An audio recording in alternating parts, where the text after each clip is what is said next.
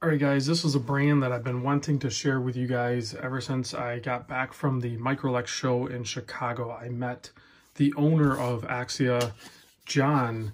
Here's his card. I'll put a link to the website down below. But uh, I had a great conversation with John, and uh, I could just instantly read the uh, vibrant passion he had for this, you know, endeavor. And so basically what he's done um, well, let me give you some history, I guess.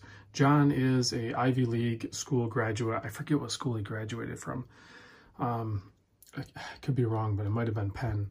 Um, so, and he wanted to create, because there really wasn't a solid option for a gift watch or memorabilia type watch for the Ivy League schools, you know, um, and he'll expand, but uh, so he put together a project to make a good quality timepiece and affordable and then have the school, I mean, primarily the object was to have the school logo on it. So like this is the Princeton shield here. And you can see this is on the GMT version or the Chronos. Um, and you're going to have all of the great components. You're going to have the sapphire crystal, anti-reflective coating.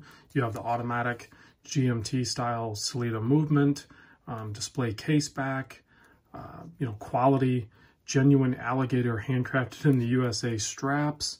Um, I mean, everything is just, there's, you know, really no shortcuts here. So you're going to have a quality timepiece that is going to last you a long time. And then also you're going to be able to commemorate your school pride.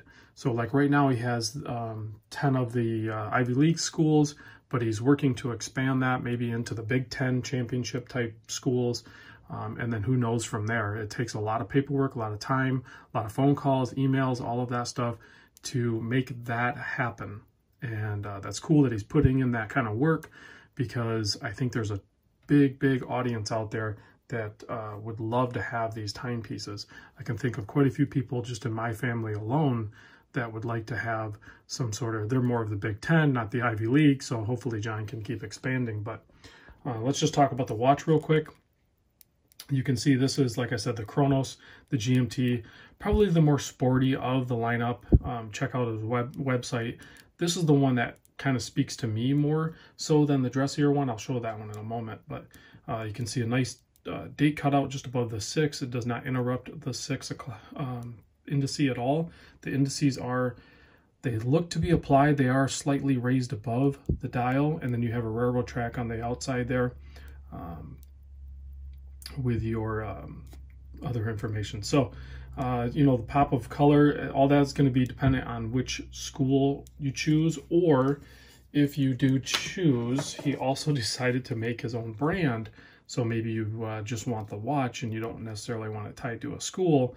Um, I think this was something he kind of decided to do a little bit later. This wasn't his primary objective, but these watches turned out really nice. And he's like, hey, you know, maybe I should just have my own brand on there too for people that aren't necessarily looking to uh, have it tied to their school. So there you can see the nice uh, Axia applied logo up there in kind of the same format, but this one's going to have a little bit of blue pop to it. And then again, still you're going to have that nice display back, alligator strap, all that stuff. So let me zoom back out. I'm going to pop this on wrist for you. These are all brand new. John just sent them over. So the, the strap um, will take a a little bit to break in, but I don't know, not much. This alligator does seem pretty supple. So it might look a little weird on my wrist, but you can see there it is on my wrist, seven and a quarter wrist. Wears great, looks great. I could definitely see having one of these. I didn't go to um, an Ivy League college or anything like that, so I would personally go after like the regular Axia branded one. So uh, size on the case, 40 mil, 48 lug to lug. The thickness is 11.3, 20 millimeter lug width, so the size is just perfect. I really like the hand stack on this thing. Um, Non-screw down crown signed, so it is going to be a 5 Atmos uh, water resist, which is going to be totally fine for everyday wear. You know, you can get it slightly wet, get caught in a rainstorm, whatever like that. It's not going to be a problem. Um, price tag is 895 on the GMT, um, 650 on the dress style one here. I'll show you in a minute, which is the Car Kairos. Um, I'm not sure if I'm pronouncing that right, but but uh, Axia is doing a sale right now, and I'll put that down in the description too. They are doing 20% off, and it's through well, yesterday, today's the 26th, but November 25th through December 2nd. So let's take a look at this one because I know this uh, pop of orange is just insane good looking. So this is the Kairos, I might not be saying that right, 40 mil case, 46 lug to lug, so a little bit shorter than the GMT.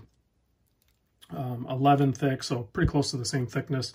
Slight um, double domed sapphire crystal anti-reflective coating, 20 mil lug width, and then a non-tapering full polished bracelet with a really nice butterfly clasp. So this one's going to be a little more showy. You know, you have the SW200 movement, and this guy also display case back. And then uh, non-screwed on crown, all that good stuff too. But you can see on this guy, um, definitely to have that beautiful pop of orange you know, you have nice applied polished indices there. And then you can see that uh, track going around the outside helps separate some of that. And then there's a slight reveal after that with the orange too. So the circle date cutout and framed in is also really nice. It's uh, ties in really good with the watch. So Dauphine style handset, very cleanly polished.